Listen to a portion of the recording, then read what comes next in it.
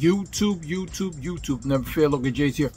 Back with another sneaker review. Today bringing a pickup that I got um, like about a week ago. And picked these up through Finish Line. Was looking at these and wondering when they would be available in store. Around me, there was none. I kept waiting. And then I'm like, you know what? I don't know if they're to um, have them at the store anytime soon. So, but I wanted them. I had seen pictures um, before, and um, yeah, ordered them through finishline.com.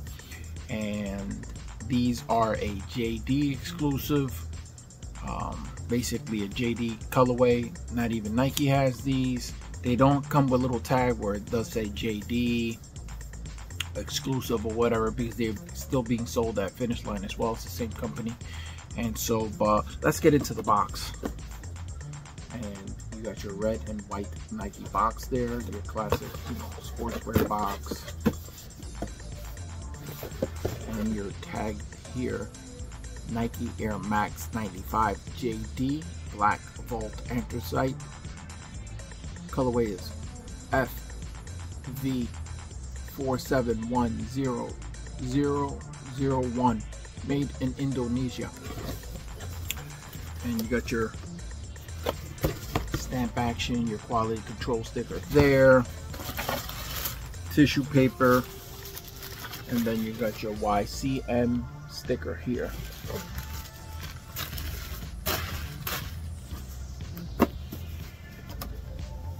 And let's look at these beauties. Woo! Woo! So these are my first Air Max 95s. I've been thinking about copying a pair for a very long time and I finally decided to pull the trigger. Um, I wanted the OG colorway that came out in 2020 for the 25th anniversary, but you know, they were limited. And starting out with your outsole, you have your black rubber outsole. You got your little waffle pattern effect there. And hit a Volt there. Got a nice little plastic piece here in gray and black lines going through. And then your Volt Nike Air.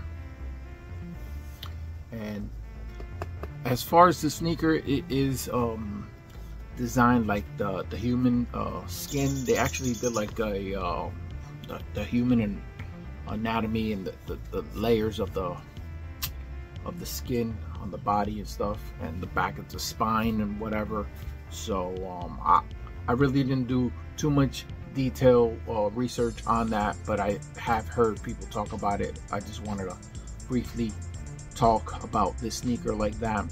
And so the upper consists of a felt um, material. You have black, and they calling it anthracite. So you got your gradient, uh, black to gray to light gray there, and that is all in this um, felt material.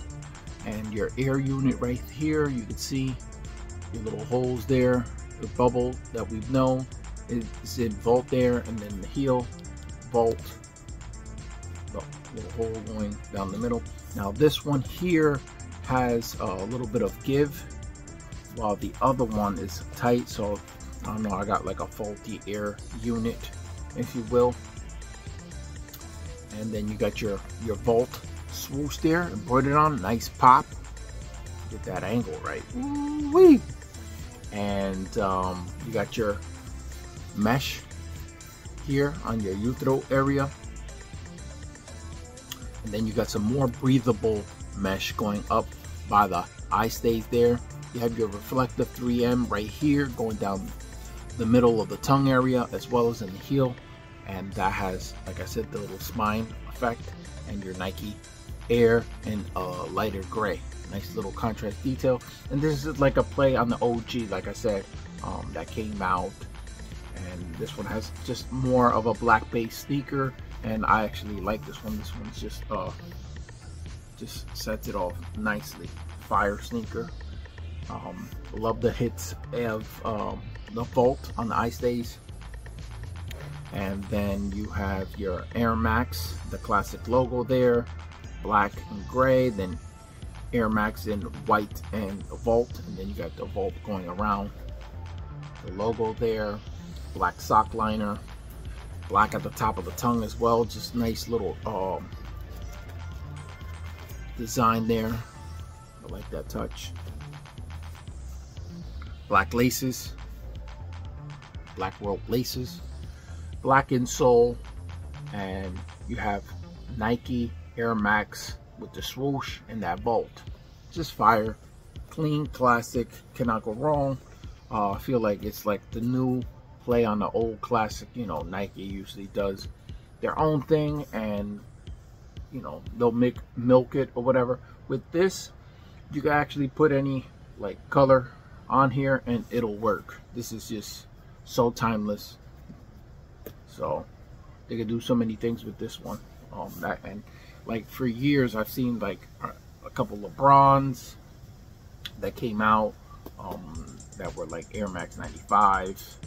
Um, just the the OG and just Supreme. Just, uh, just there, has been many um, iterations of the Air Max 95 that I've thought of copying, but this one, nice little GR classic, cannot go wrong.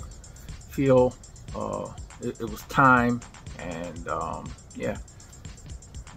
If this would have been limited, I would have missed out. You know, they could have made like super limited pack, and um, uh, I believe Mita from Japan they did a collaboration with the Air Max 95.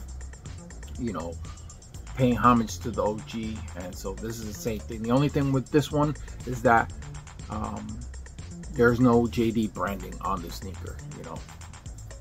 It is more of like we're ordering a lot of pairs. We're gonna get these pairs out. Um, we know this is fire. Let's get it out for the people. And um, yeah, I had to cop. So there you go, YouTube.